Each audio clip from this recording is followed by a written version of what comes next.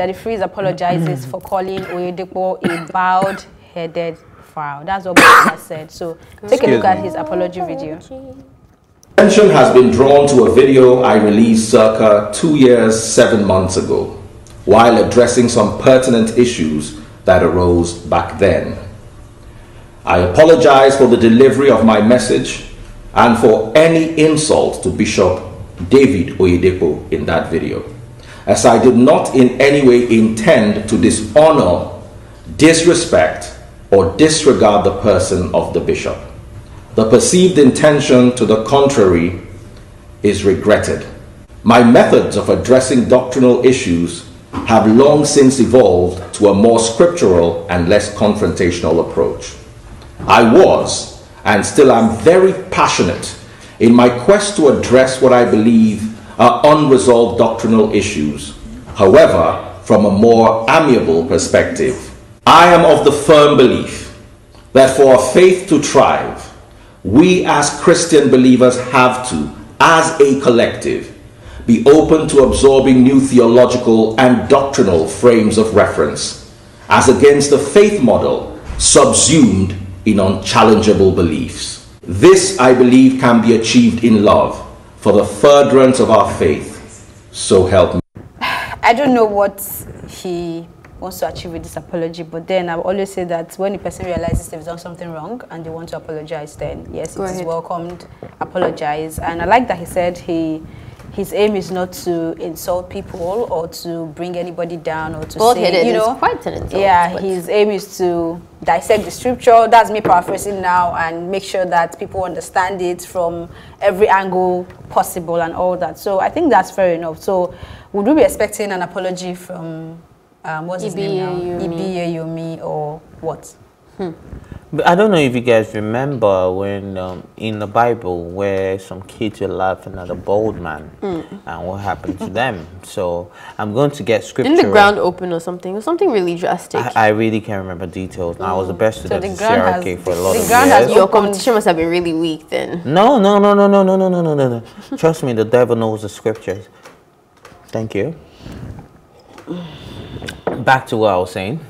So, um, I don't know exactly what happens in that story. So, being a man of God, I think you should pay more attention to details, especially the scripture which you are hiding behind or saying things behind, right? Mm-hmm. So, if you know what happened to the people who laughed at a man for being bold in the Bible, then I think that's a really derogatory. So, when you're coming now to tell me now that that was not the intention, I feel like then you're probably not doing your research as a man of God. So every time you need to get on the pulpit, you're probably going to have to Daddy study. Freeze is not a man of God.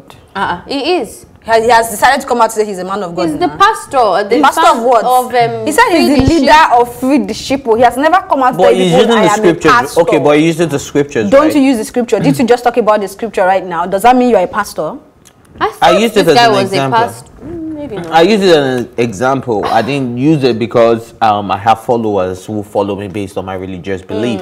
This is somebody that has a, a lot of followers Mm. does. based Pastor on or not, he has a- a- religious a beliefs. leadership So I role. think it should be well grounded about Mm. the scriptural facts before he starts using certain words for people. But like you said, it's a welcome development for you to apologize about what you said. But now they dug this out from 2017.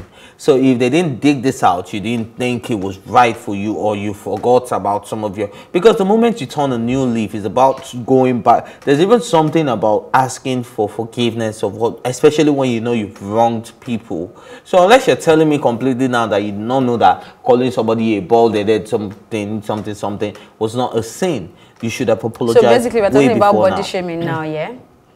Head shaming actually. No, it's still body shaming. yeah, I know, So, um, is it does the curse that comes with that Bible verse you're talking about only happen when With you body the shame a man body. of God? No, Or- and was that even a man? No. I, I can't remember. Either the way, see, the point clearly. isn't. I don't even think the scripture needs to put it in there to say that if you call someone a bald-headed person, this is the consequence. Before you start to say that calling someone a bald-headed person in general is a is a bad thing. Mm-hmm. I don't really need to do that because as long as your words are built to hurt people, my only issue. And I feel like that's what Freeze is known for. So I feel like I have an issue with his entire representation is that he talks too much. people who talk too much, no, you know that it is hard for you to keep up with yourself. And that's why it's always wise to fem when the time is needed. If you talk too much, you will say things that you're not meant to say because you are talking faster than you are thinking.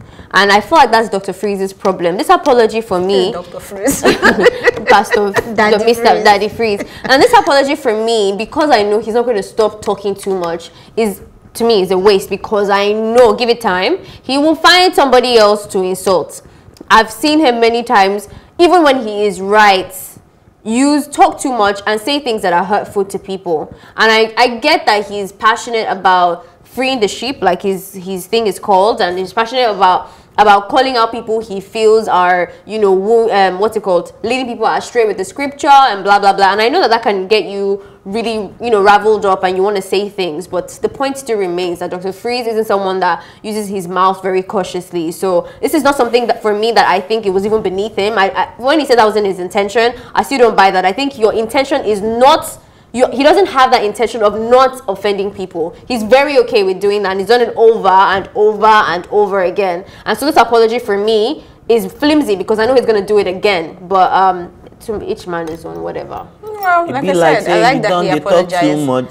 And I'm also One thing you hoping that um, the pastor in question will come out to apologize and set things straight because he said a lot of things that doesn't just hurt Daddy Freeze, but a lot of people that will identify with what he has said. So maybe this is the Especially time when him he to spoke about broadcasters, like it's not a noble profession to be a broadcaster. like we're sitting here right now. or isn't the half casting and I mean he said a lot of things as well. So so maybe he should just make a one minute video as well and just hmm. apologize to everyone. Well, he's not even may have- apologizing to Ibiyeomie. Yeah, he's Yeah, apologizing B- to- Ibiyeomie was not attacking him for insulting himself. He was true. attacking him for insulting Person Oyedepo, right? Oyedepo. So uh, But he- he wasn't attacking him for insulting Oyedepo in the two, this 2007 video that Dr. Freeze is apologizing for. but we don't know the particular video. No, We people do. now This dug this, up. one, like yes, so this one, this one is ages ago. This one was 2017. 2017. He even said it now. Dr. Freeze one that made me know what. Uh, I keep calling him Dr. Freeze. Daddy Freeze was the one that I said it's seven, 2007, seven months ago, or some something days ago video. So they dug it up for that. He's not even apologizing for what made them trend how many weeks ago. So did you see the video that made them trend? That, No, I that didn't. Pastor Ibiyeomie was responding No, I did not. Did you see the video?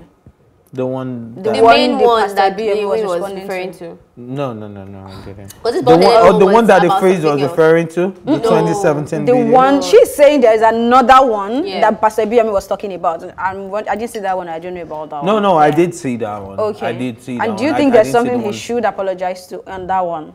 No, it's just it's not the first time that Daddy Freeze has been coming against Oyedepo. He doesn't really agree with Oyedepo on a lot Yeah. of things, so they've been having back and forth. So he's saying that this is the last time you'll be calling the um, Pastor Oyedepo because he has been calling him a lot in his videos. right. He's one of those So it's an pastors. accumulated anger. Yeah. Okay.